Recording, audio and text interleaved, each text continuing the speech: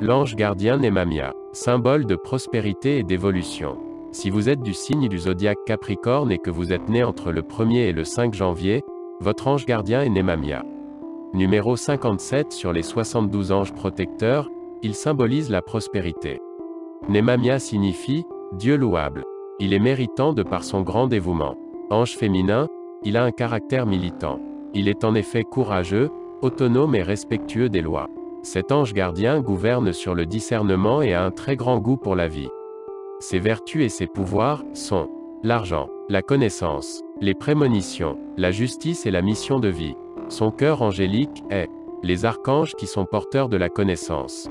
Son archange recteur est Michel, chef des armées célestes. Son élément est la terre. Sa couleur hiérarchique est le violet. Sa couleur est l'orange. Ses pierres associées sont le cristal, le rubis et l'agate. Ses planètes associées sont Mercure et Uranus. Les natifs protégés par Nemamia possèdent un don inné pour la stratégie ainsi que pour l'analyse et réussissent facilement à résoudre des problèmes.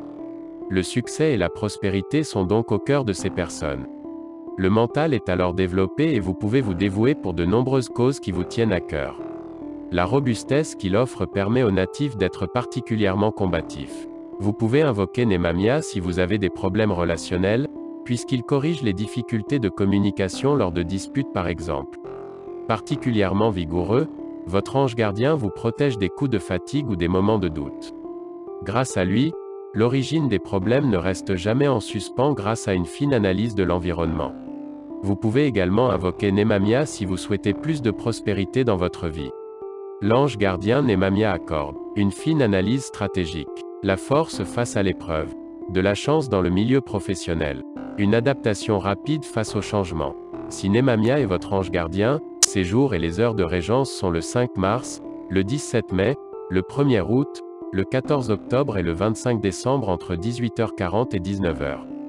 Pour communiquer avec votre ange, prononcez cette prière. Prière pour Nemamia. Ange, Nemamia, puisque je dois diriger la stratégie de mes batailles dans la société, que l'amour et la beauté soient mes objectifs, Seigneur. Aide-moi, Nemamia, pour qu'il n'y ait pas d'autres desseins, d'autres projets, en moi, que celui d'édifier sur terre, l'archétype qui existe déjà dans le ciel. Donne-moi du courage pour affronter mes responsabilités, et de la lucidité pour réaliser les choses en temps voulu, sans précipitation, sans brûler les étapes, bien que sans pauses inutiles.